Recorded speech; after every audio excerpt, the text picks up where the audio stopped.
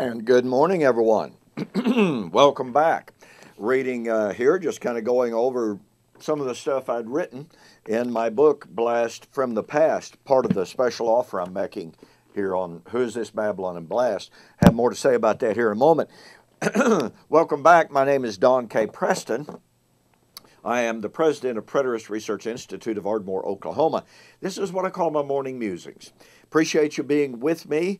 We are currently discussing, have been for a few uh, sessions now, the identity of the land beast, Revelation 13. Uh, who is this land beast? I have suggested to you that the land beast is none other than Babylon the land beast joins with the sea beast in persecuting the saints. And when we look at the correlation in Revelation chapter 17, uh, the land beast equates to Babylon, who is in this partnership of persecution with the sea beast.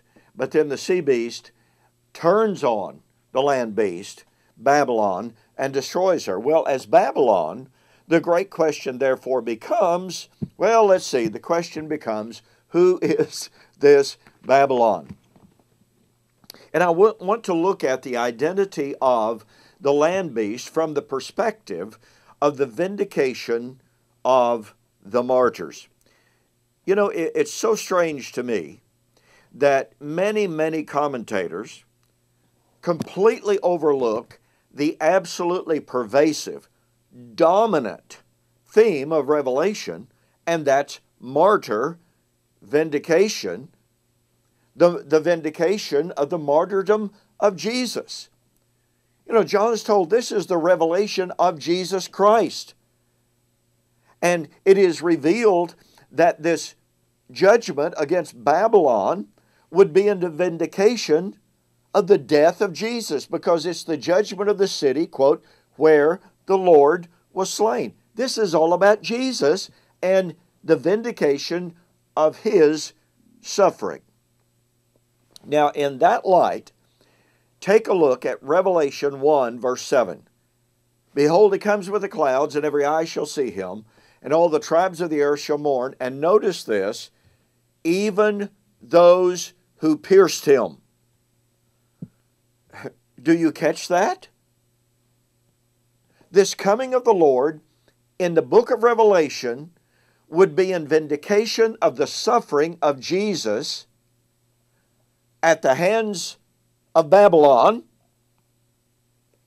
So the question is who killed Jesus? Well, it was the land beast, it was Babylon. It's the city where the Lord was slain. Now, look how this conflates and agrees perfectly when, with Jesus on trial. Pilate declares Jesus innocent of all charges. And he said, I wash my hands of the blood of this innocent man. By the way, notice that Acts chapter 4 says, citing the Psalms, Why do the heathen rage? Why do the people imagine themselves against the Lord and against his anointed. And the kings of the earth rise up against him, saying, Let us cast off his bonds. Here are the Jews in conspiracy with Pilate to kill the Lord. The Jews are the movers and the shakers of that death of Jesus.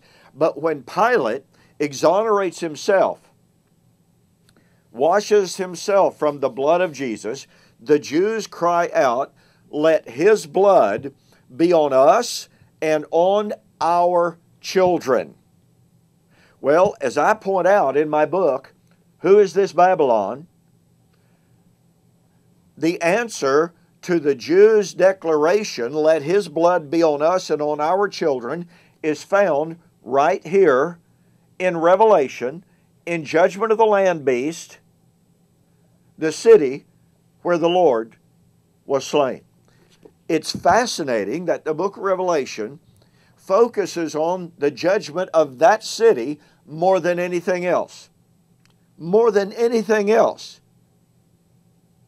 This is about the vindication of the death of Jesus at the hands of the Jewish leaders when they themselves cried out, Let his blood be on us and on our children. Revelation is God saying, You asked for it, you're getting it. Look, I developed that and a whole lot more in the book, Who is This Babylon, as well as Blast from the Past, The Truth About Armageddon. Normally $4.95 plus $4.95 shipping, regularly $19.95 plus $4.95 shipping. You can have both of them for a total of $20 postpaid. Go to my website, www.eschatology.org or BibleProphecy.com. Send me an email. Say, Don, I'd like to get that special offer you're making on YouTube and Facebook about Blast and Babylon. All right? And I'll give you directions on how to pay for it. Thanks much, so much for joining me for this morning's morning musings. We have more on the identity of the land beast as Babylon and the vindication of the martyrs. You don't want to miss it. God bless. We'll see you on the flip side.